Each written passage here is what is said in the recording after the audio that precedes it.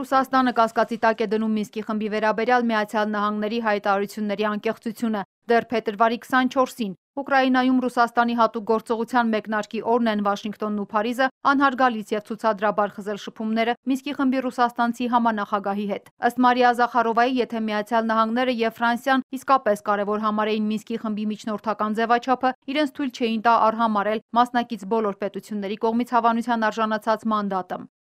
работе тройки нанесен во многом непоправимый ущерб. А теперь вот они заявляют подобные вещи. Երյակի աշխատանքը շատ առումներով անդառնալի վնաս է կրել։ Այս վրթովեցնող քայլի պատճառների մասին հստակ բացատրություն մինչև օրս չի տրվել։ Ոչ մի երաշխիք չկա, որ նման անպատասխանատու գործողությունները չեն կրկնվի։ Հնարավոր չէ ձևացնել, թե ոչինչ չի պատահել։ Պարզապես պետք է հաշվի առնել նոր իրողությունները։ Զախարովայի կարծիքով խաղադրույքն արված է եղել Ռուսաստանին մեկուսացնելու վրա, սակայն սխալ հաշվարկի հետևանքով արևմուտքն իրեն է մեկուսացրել Մոսկվայից։ Իսկ արտաքին աշխարհը չի սահմանափակվում միայն Եվրատլանտյանով։ Դիվանագետը վերահաստատել է, որ ռուսական կողմը շահագրգռված է Ադրբեջանի եւ Հայաստանի հարաբերությունների կարգավորմամբ։ Российская сторона, как э, никто другой, заинтересована в нормализации отношений между Азербайджаном и Арменией. Не может... Մենք չենք կարող թույլ տալ, որ որոշ արտաքին խաղացողների քաղաքականացված քայլերը խաթարեն տարածաշրջանում խաղաղության ու կայունության վերականգնման առանց այն էլ դժվար ջանքերը։ Մոսկվան կանի հնարավորը, որպեսզի կյանքի կոչվեն երեք երկրների ղեկավարների պայմանավորվածությունները։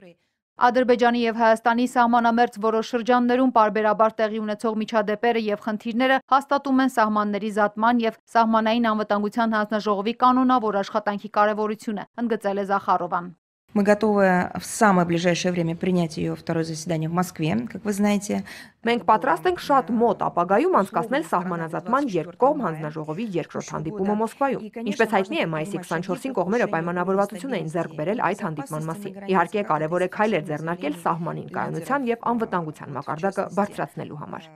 Մեկնաբանելով Ադրբեջանում ՌԻԱ Նովոստիի կայքի արգելափակումը ԱԳՆ պաշտոնական ներկայացուցիչը վստահեցրել է, որ Մոսկվան գերադասում է գործընկերների հետ խնդիրները լուծել երկկողմ ձևաչափով։ Հիմք ընդունելով զանգվածային լրատվամիջոցների խոսքի ազատության եւ լրագրողների իրավունքների նկատմամբ հարգանքի իրավական նորմերը, Զախարովան հույս է հայտնել, որ նման նախադեպերը հնարավորինս քիչ կլինեն։ Ֆրիդա Ղազարյան, Էպիկենտրոն։